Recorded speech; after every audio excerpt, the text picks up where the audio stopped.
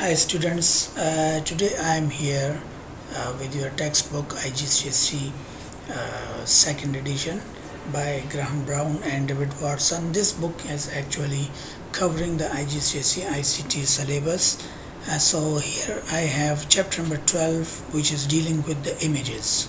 So what we are going to do with the images that how we place images into documents in presentations, how we can resize an image, how we wrap the text around an image, placing an image with precision and then place a border around an image, rotation, crop, reflection, adjusting color depth, brightness, contrast and maintaining the aspect ratio of an image. Adjust the aspect ratio of an image to distort an image where appreciated. So we are going to cover few parts uh, few of them in this video. So what I'm going to do is I'm moving forward with our textbook task. So in this textbook we have task we have activities as well. So we're going to explain for you the task which will help you to perform the activities as well. As they have mentioned here in task 12a a short new article is to be given to young adults age 15 to 25. Open the document snow.rtf. So this document is already provided to us. Yeah, it is here. Chapter source files. Chapter 12. Yeah, snow.rtf. This is the one. So when I click on this Word document, it will open in RTF folder which is a text file rich text format. Then what I need to do is in this document I need to insert a suitable image from clipart and the image snowball and trees.jpg at the end of the document. So what I need to do is I just need to open the document. We'll go to the end here.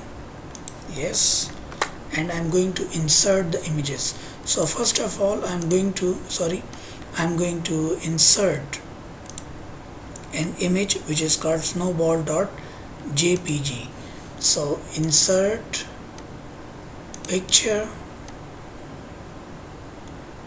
then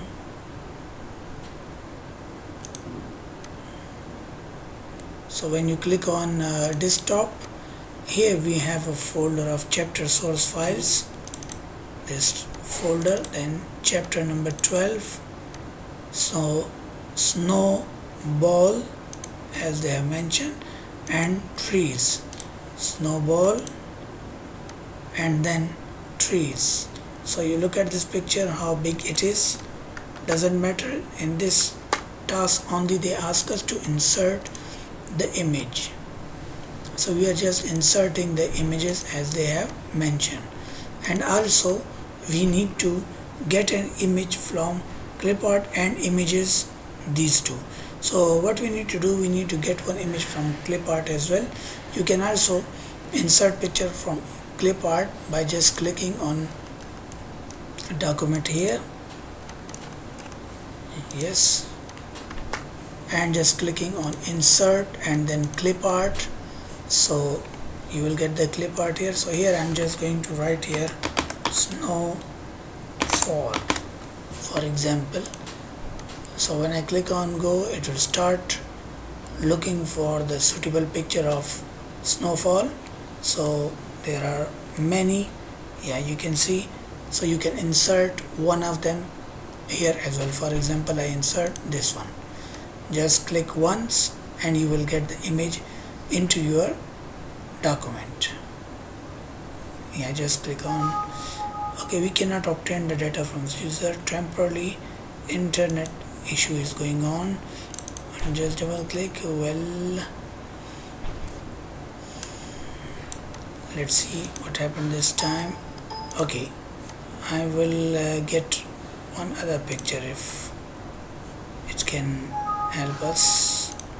Find here I think I have some issue in my PC so if you just click on here you will get the picture here. So as you can see in this task they ask us only to insert the images. We have inserted the images.